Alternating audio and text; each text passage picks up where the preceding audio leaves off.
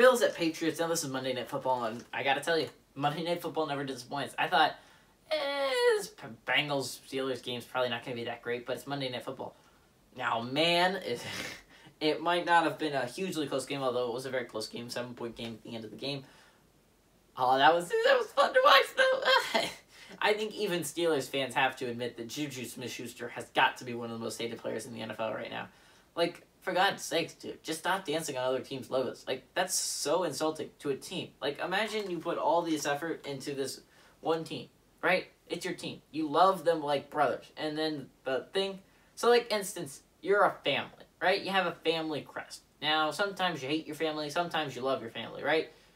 You really want to make the family as best as you can possibly do, right? So you keep trying hard on doing this family stuff, right? And then some random person comes over, throws your family crest on the ground, and then starts doing TikTok dances on it. Would you be happy with them? I, I have to say probably not. The logo is like the family crest for this team, because if you think about it, a lot of NFL teams are kind of like a family, because they spend so much time with each other, literally day in, day out. They play so much. They probably all know each other's families. Uh, Monday Night Football is always a great game, though. Uh, uh, whoever's been picking Monday Night Football games this year deserves a raise, as I said before. I'm not as certain on this one, uh, but I mean, Monday Night Football guy picked it, so who knows? Uh, I think the Bills are a better football team than the Patriots right now. Bills are pretty healthy. I think they're getting John Brown back this week. I could be wrong about that, but don't quote me on it. But I feel like John Brown's coming back this week after the injury. Uh, he, if you don't know, John Brown's a huge impact to that team. He's Smoke Brown. He's their speed guy.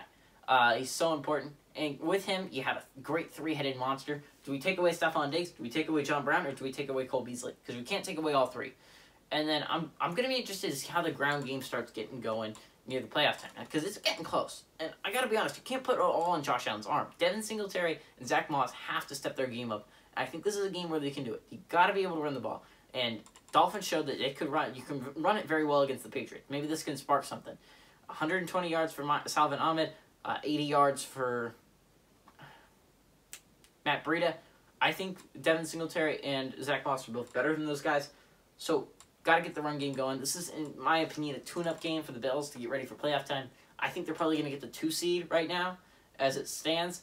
I think it's likely get the, they get the two seed. I don't think it's possible they get the one seed, uh, but I feel find it likely they get the two seed here. Which means they could be playing the Dolphins or the Ravens first round. Very important that you keep working fine tuning some stuff because the Dolphins have a very good defense. So do the Ravens. They're both scary team come playoff time. But I'm pretty sure I think the Bills are going to win this one. I love Josh Allen. I'm putting all my money on Josh Allen's arm every day of the week. I love Josh Allen. Give me the Bills to win this one in a blowout. Although I don't know because the Monday Night Football games are always close. But I'm going to go and this one is not close. Give me Josh Allen and the Bills to destroy Cam Newton and the Patriots.